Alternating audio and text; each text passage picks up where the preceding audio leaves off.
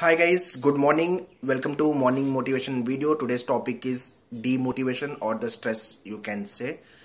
अगर आप आपके एग्ज़ाम की प्रिपरेशन कर रहे हो और डीमोटिवेशन आ रहा है you are feeling very pressure और यू नो स्ट्रेस फील हो रहा है तो मतलब वो गुड न्यूज़ है गुड न्यूज़ इसलिए है कि you are serious about your preparation you are serious about your career you are serious about your examination ठीक है और ये होगा अगर आप एंट्रेंस प्रिपेयर कर रहे हो तो डीमोटिवेट होना बट ऑब्वियस है because sometimes you stuck in a particular topic in particular work or in particular section maybe you are not able to you know handle that particular section not able to solve it, you can say so, जब भी हम कुछ कर नहीं पाते तो या तो हम प्रेशर में चीज़ें ख़राब करते हैं या तो फिर थोड़ा सा आपको समझना होगा कि ये चीज़ क्यों नहीं हो रही है और फिर उस पर उसको चैनलाइज करना होगा ये राइट तरीका है ठीक है सो आउटबस नहीं होना है ओके आउटबस होकर चीज़ें सिर्फ़ और सिर्फ़ खराबी होगी।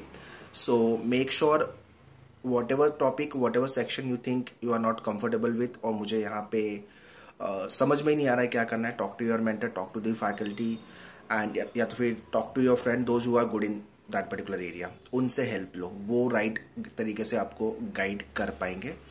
और डीमोटिवेशन अगर आपको आ रहा है तो उसको लेके टेंशन नहीं लेना है, वो गुड न्यूज़ है आपके लिए। गुड न्यूज़ इसलिए है कि आप सीरियस हो।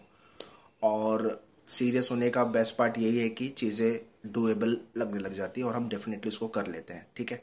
So don't worry about your demotivation stress pressure और panicness just focus on your just focus on your preparation all the best